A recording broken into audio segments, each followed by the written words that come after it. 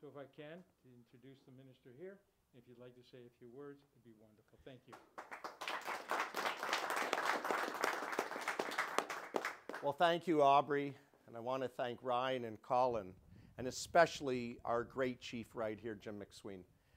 This committee and this group of volunteers who work side by side with the chief to bring the best and brightest ideas that they have to help make York Region a better place.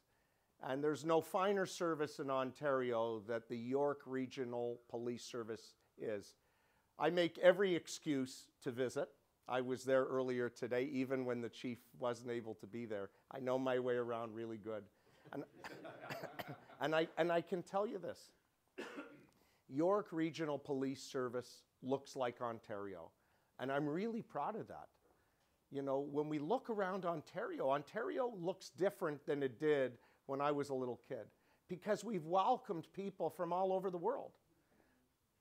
Canada and Ontario is a place that this year will have over 500, uh, Ontario rather, will have over 500,000 people come here to Ontario as new immigrants. And that's why we have to build a million and a half homes because we need places for them to live. But that means we have to have safe places for them to live. And this is why I'm absolutely committed, together with our Premier, to make sure that we have a place to wake up our kids in the morning.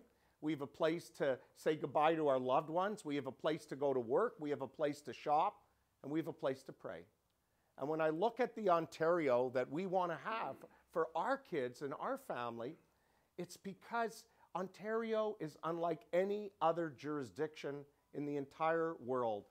You know, when I traveled just last week to uh, 16 stops in 30 hours, people thought I was a bit uh, over ambitious, but I did it. And we toured across southwestern Ontario. People are positive.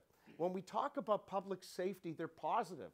When we talk about why our government is so proactive in wanting to get these violent and repeat offenders off our streets, and again, York Region Police Services is leading by example with all of their technology and their personnel and their training and their commitment. When we look at, you know, stopping auto theft, our government is taking this seriously.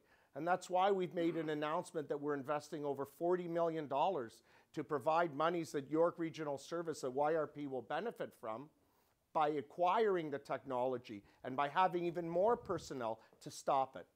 And when we look at what we're doing transformationally at the Ontario Police College to break down the barriers, to, to, to remove the obstacles that were preventing people from becoming police officers, it was because of the leadership of Premier Ford that we have the largest class now, graduating, I'm proud to say, on August the 2nd, of which YRP will have its great cadets. And how do I know it? Because I saw them last week when I made a snap inspection and they're doing great, Chief. Um, it's because all of these factors show that our government is absolutely committed to our public safety. I say it, but I mean it. We've never had a government that can look people in the face and say, we will have the backs of everyone that keeps us safe.